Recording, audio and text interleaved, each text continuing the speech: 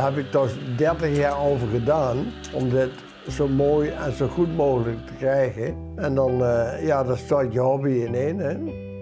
Dan, dan heb je eigenlijk niks meer.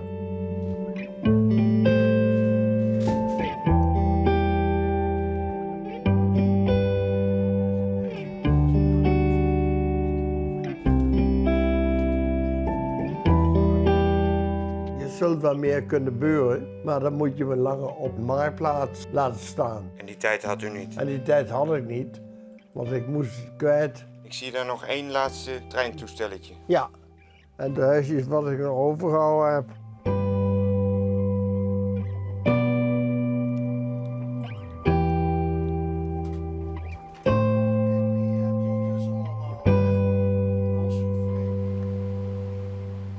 Wij hebben meneer nog niet uh, gesproken. Wij willen ons daar ook zeker in, uh, in verdiepen. En we willen uh, dat gesprek aangaan om samen ook te kijken van wat er fout is gegaan, als er al iets fout is gegaan.